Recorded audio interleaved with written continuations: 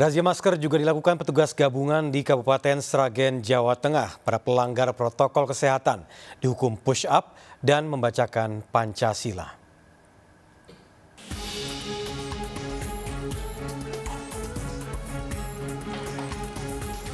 Kurangnya kedisiplinan masyarakat di Kabupaten Sragen memakai masker di luar rumah, petugas gabungan menggelar razia masker di Jalan Raya Sukowati.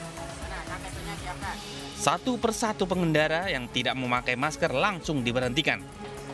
Sebagai efek jerah, petugas memberikan hukuman push up sebanyak 10 kali. Hukuman ini berlaku bagi semua pengendara termasuk wanita. Pelanggar protokol kesehatan juga diminta membacakan Pancasila serta menandatangani surat pernyataan tidak mengulangi pelanggaran yang sama. Pakai masker mbak mengemudinya mbak? Masih di mobil. Masih di mobil tadi maskernya mas. Oh gitu. Harapannya melalui operasi-operasi seperti ini masyarakat ada kesadaran tentang kepekaan terhadap COVID-19 ini. Artinya prosedur untuk mengikuti protokol, protokol kesehatan bisa diikuti, tetap pakai masker di mana pun. Ketidakdisiplinan masyarakat mengabaikan kepentingan memakai masker berpotensi memperluas penularan COVID-19.